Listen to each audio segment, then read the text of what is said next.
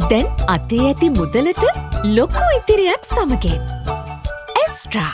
ශ්‍රී ලංකා විදුලි බල මණ්ඩලය විසින් චීන එක්සීම් බැංකුවට ගෙවිය යුතු විදේශ ණය කිහිපයක් ශ්‍රී ලංකා රජයේ ණය ලෙස පරිවර්තනය කර තිබෙනවා. සතියන්ත පුවත්පත් වාර්තා කරන්නේ ඊට ලක්විජය ගල්ලංගුරු බලාගාරය ඉදිකිරීමට ලබාගත් අමරිකානු ඩොල 591.4ක මුදලක් ඇතුළත් බවයි. සන්ඩේ ටයිම්ස් පුවත්පතේ වාර්තාවට අනුව මෙම තොරතුරු අනාවරණය වී ඇතේ මුදල් ආර්ථික ස්ථායිකරණ හා ජාතික ප්‍රතිපත්ති අමාත්‍යංශය විසින් රාජ්‍ය ව්‍යවසායන් ප්‍රතිහගත කිරීම සම්බන්ධයෙන් ඉදිරිපත්ව ඇති කැබිනට් පත්‍රිකාවක් මගින්. ජාත්‍යන්ත්‍ර මූල්‍ය අරමුදලේ කොන්දේසි අනුව රාජ්‍ය ව්‍යවසායන් ප්‍රතිහගත කිරීමේ අරමුණින් මෙම රාජ්‍ය ව්‍යවසායන්හි ණය රජයේ ගෙනුමට ණය ලෙස පරිවර්තනය කර ඇත්තේ පසුගිය වසරේ බව එම වාර්තාව මගින් පෙන්වා දී තිබෙනවා.